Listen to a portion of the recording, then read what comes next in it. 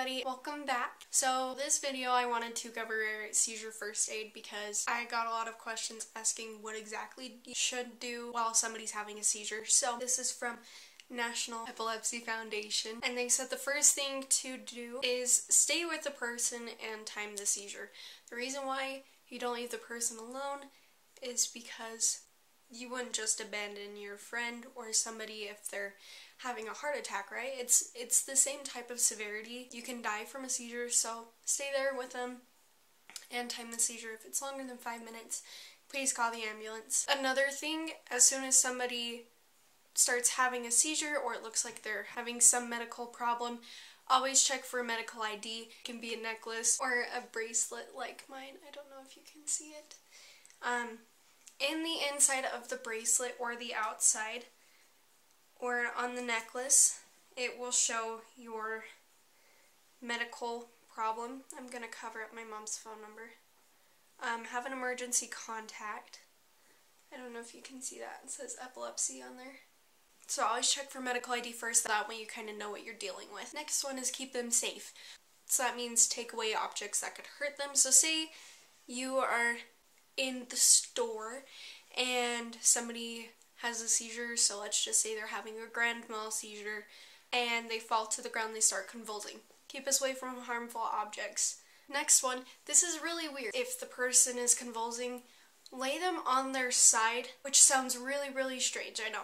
But while you have a seizure, some people throw up. If they're laying down, they can possibly choke and die. So lay them on their side like this. Prop their head up with a small soft thing, so like a jacket, sweater, hoodie, anything small. And also, if they're wearing like a scarf or necklace or something tight around their neck, loosen that. So if they're wearing like a, a shirt and tie, loosen the tie, unbutton the first button. That way the airway isn't restricted. Also with my type of seizure, it looks like I'm sleeping.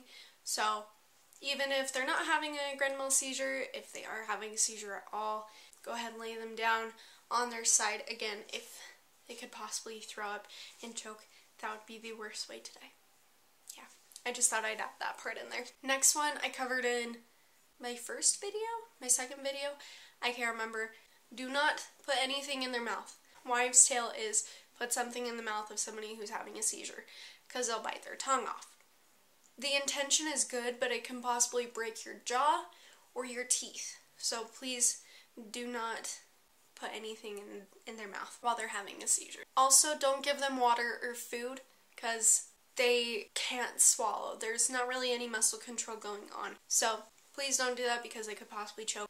Um, another one that I, I talked about was do not restrain. Please don't try to hold somebody down that's having a seizure. Last one, stay with them until they're awake and alert. When they start waking up, they'll be in their postictal state. I covered that term in my vocab video. Um, postictal state is basically the waking up stage after a seizure. So make sure they're all the way awake and completely out of their postictal state before leaving them because waking up from a seizure can be very, very confusing. You won't really know what's going on. Sometimes you won't remember where you're at or what happened. It just is really scary. So please stay with them the, until they're all the way okay. Most seizures last for a few minutes. If it exceeds five minutes, please call the ambulance because that could get really serious. Another reasons to call an ambulance if somebody is having a seizure is if they are pregnant, injured, or sick. It's the first time they've had a seizure. Um, the person doesn't return to their usual state, so that means like they seem out of character, they still don't really know what's going on that's definitely something scary. You do need to call the ambulance because some seizures can be really serious. It can erase memory. I follow an epilepsy page and one of the guys had a seizure and erased three months of his memory. It was really sad. So make sure they're their usual selves before you leave them. But if they don't seem like themselves, please call the ambulance.